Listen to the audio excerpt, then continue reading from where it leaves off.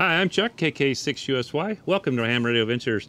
Today, we're going to look at an inverter from Ampeak. Uh, an inverter is something that you use 12 volt to it, and it comes out 110. And this is the uh, the 1200 pure sine wave. So let's go unbox this and see what comes in the box. Okay, let's take a look at what's inside, guys. This is the Ampeak 1200 watt pure sine wave inverter. I believe it also has a peak of 2400, but we'll check that in the manual.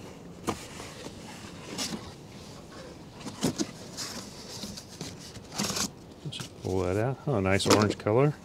Comes with the uh, manual. We'll take a look at that later. Here is the uh, inverter.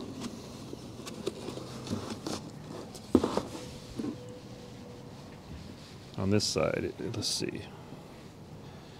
It has three uh, 110 plugs, has a couple USBs, an on-off switch, and this is a telephone line. This is for a remote, and I'm going to use that actually in my motorhome because uh, my phone port is right where I'm going to mount this, and then I can go inside and turn it on and off from inside.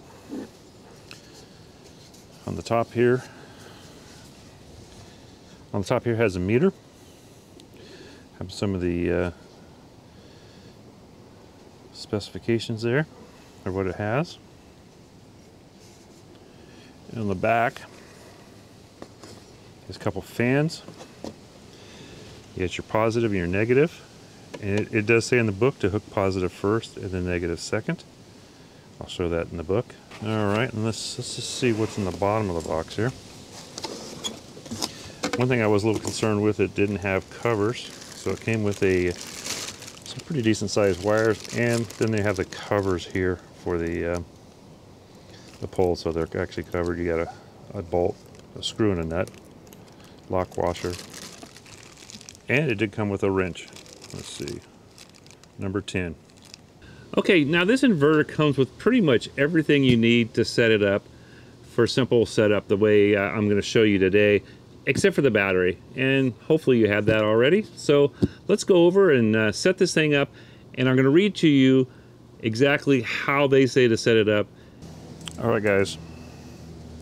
Now it says here to make sure the inverter power switch is off, connect the red positive ring cable to the red positive terminals of the battery and inverter.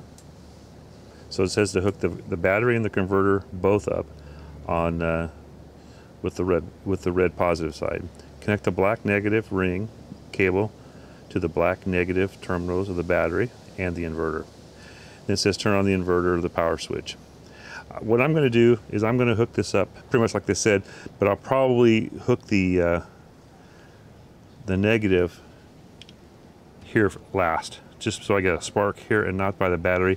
You don't want to get a spark near the battery in case there's any kind of fumes coming out. I don't. I think the one I have is sealed. It's a lithium battery, but still, it's just better to be safe. What I do like about these is see how they can move side to side.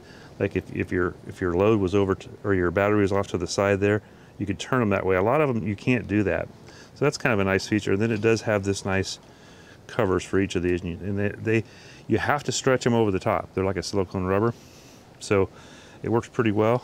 If you have to go any farther than this, guys, run some bigger wires. And this feels kind of like a silo, like a, a like a silicone jacket, but it's a little stiffer than most silicone, but seems pretty decent. So we'll see. All right, everything's hooked up. We've got our 100 amp hour uh, Power Queen Lithium Premium 2. It's the uh, mini battery. 12.8 volts. Got my everything hooked up here. I didn't actually even notice a spark, so let's see what happens when we turn it on. Let me see if I can turn this around carefully. Okay.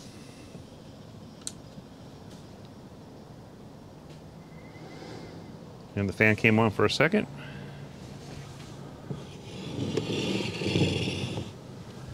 It says, looks like it's running. Let me see what you guys can see here. Let me throw the box behind it, guys. There we go.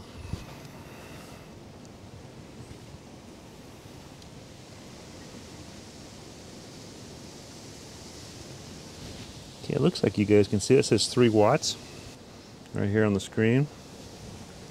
It says output 119 volts, 60 hertz, 0 amps going out. Input is 13.4 and it's 78 degrees Fahrenheit. And it's showing the battery, man, it got dirty already. It's showing the battery is charged. All right, let's find something to hook up to it. Well, shoot, I got something here right now. This is easy. We'll try it real quick.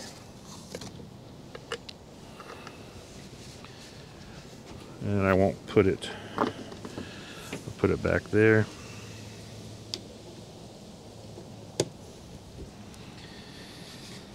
And as you can see, it's already working at 16 watts. That's a that's an LED bulb. Oops, you guys can't see it. Let me let me pull back. You did see what it was drawing there. And there's the light. Turn the light off. It goes back down slowly. Then back on. Back up to 16 watts. All right, let's find something bigger. All right, guys, we've got uh, you got your Power Queen 100 amp hour battery, 12.8 volts. We've got this hooked up. It's turned on. It's drawing 6 watts at idle. I've got a heater here. We're going to leave it turned this way. First thing we're going to do is turn on the fan. Now this heater on high is too much for this inverter. But right now it's showing 25 watts, 0.2 amps. Okay. We're going to turn on the number one heater part. It's up to um, 506, well, 600 and, well, we'll just wait. So it's drawing 900, about 900 watts, anywhere from 880 to 900. The fan came on, as you can hear. Okay, now the battery, the fan went off, so it must be cool enough. All right. Now, when I turn this on, we are going to overload this thing. It should surge for a second and then it will shut off. Let's see if it works.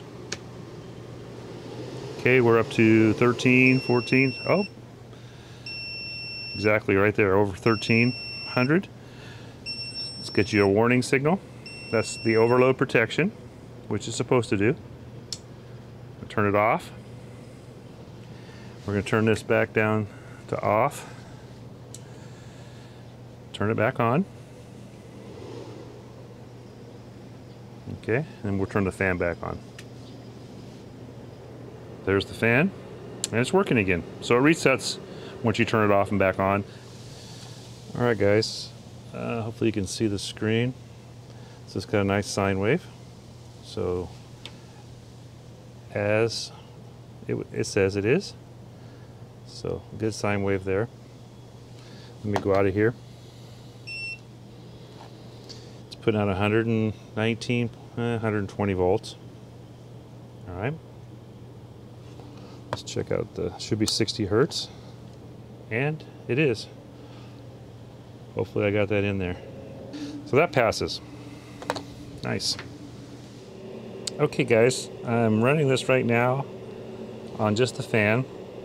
I just bought this uh, Kaiweets HT206D I've got some work to do on my daughter's motorhome. It's got a draw, and we're going to see if we can find it. And I'll do a review on this later, so make sure you hit the bell. It shows right now that the uh, 23 watts is 2.6 amps. All right. Just wanted to show you that part too. All right, guys, it passed all the tests and uh, did pretty well. I can't complain about it. It seems to do everything that it's supposed to do and does it well. I do like the orange color, it looks pretty cool. The other thing is the size of this one is, is nice.